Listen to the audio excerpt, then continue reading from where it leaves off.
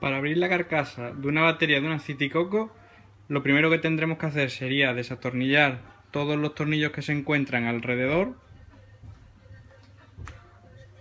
Vale, y una vez todos desatornillados, le damos a la carcasa media vuelta y quitamos la tapa superior, ¿vale? Porque la batería se encuentra pegada en la tapa inferior.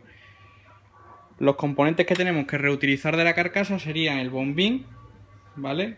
Perteneciente a la cerradura de la llave, que es para quitarlo, lo único que tenemos que hacer es desatornillar estos dos tornillos que sujetan el bombín y aparte el conector de alimentación, que sería este conector que vemos aquí delante y que se conecta mediante esta ficha a la batería.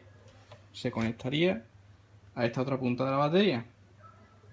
Para quitar el conector tendríamos que desatornillar desde la parte frontal de la carcasa estos dos tornillos, este y este. Quitando esos dos tornillos eh, podríamos extraer el conector.